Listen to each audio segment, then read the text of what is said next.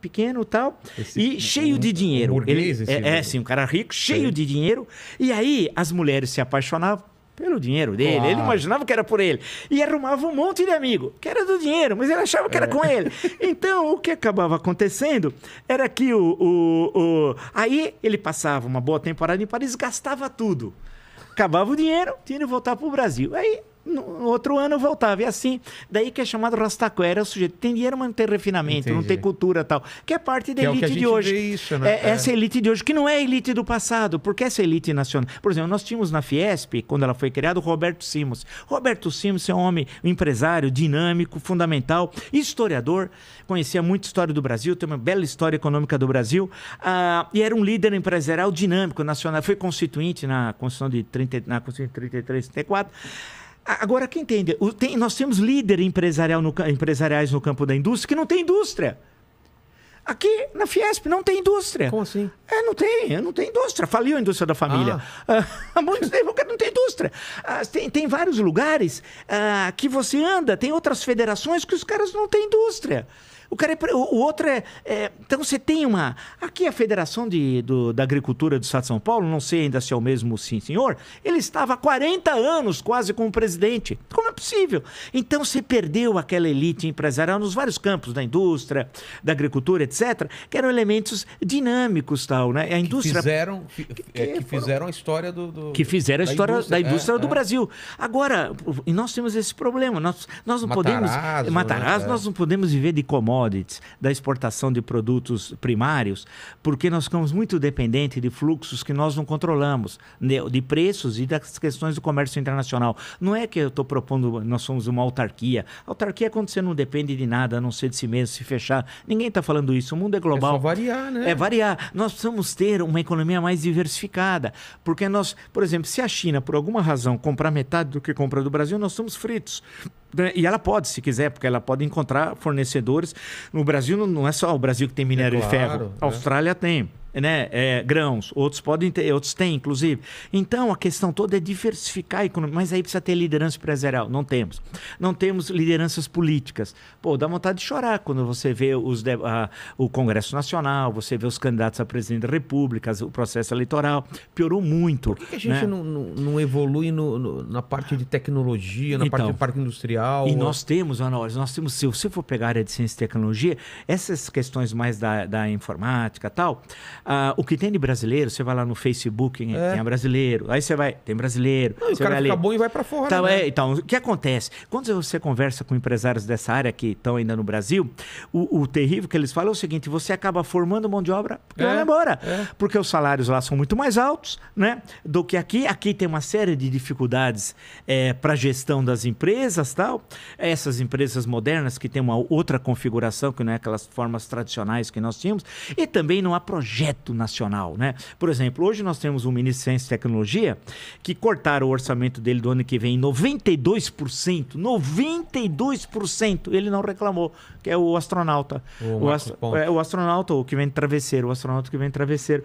Ah, que, não, que, não, que não sabe nada. É bom lembrar que ele foi, quando ele subiu, foi no governo, era lulista. Em É. 2006, é, pra nada. Ele subiu, que não tinha objetivo científico nenhum, desceu, quando ele desce.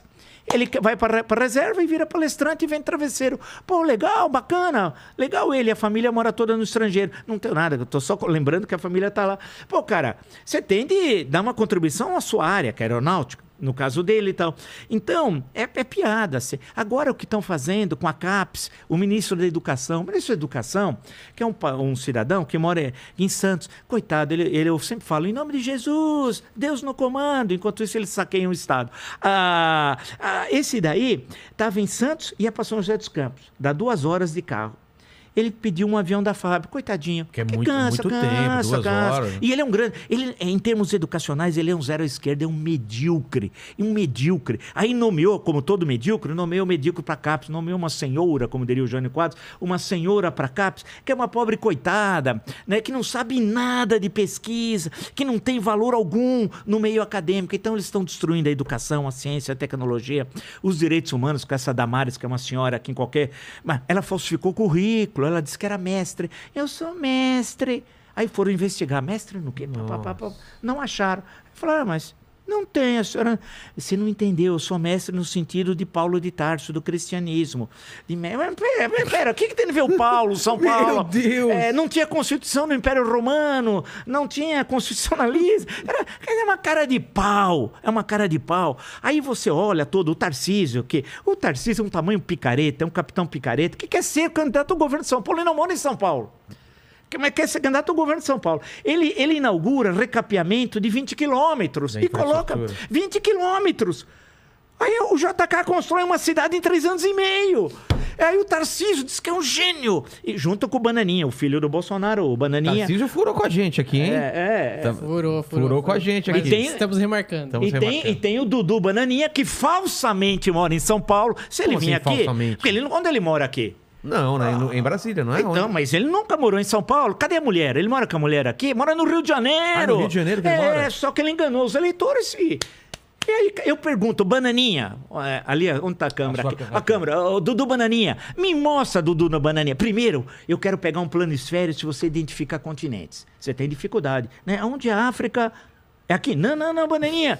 Mas não pode falar o pra baixo. Ao sul. Ao sul ele não entende. Pra baixo. Aí ele, África. Oh, boa, Bananinha.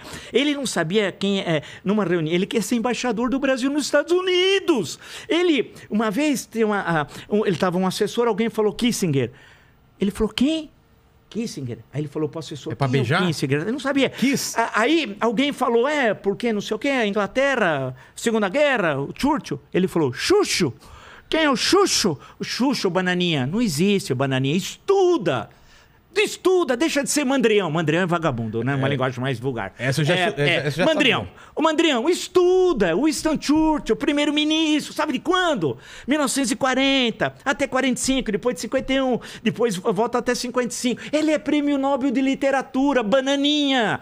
Esse pessoal é medíocre, é medíocre, né? Então, a- com essa turma aí, você acha que o país pode ir para frente? Você veja lá, no, no caso do G20 em Roma, aquela foi uma das maiores humilhações. Quando o Jamil Chad entrou, muito esperto, grande jornalista, porque estava conversando com Antônio Guterres, secretário-geral da ONU, que eu conhecia de Genebra, o presidente da, da OMS, da Organização Mundial de Saúde, Tava o, o da OIT, ele estava conversando, foi entrando, ele contou isso para mim. Aí o, o segurança não sabia quem ele era, mas estava conversando com o secretário-geral, todo mundo, e os caras abraçaram ele. Fala pessoal, nos primeiros 50 dias eu tive um resultado bem satisfatório na barba, só usando o trioxidil. Então se você tem problema com a barba falhada ou com a queda de cabelo, clique no primeiro link da descrição.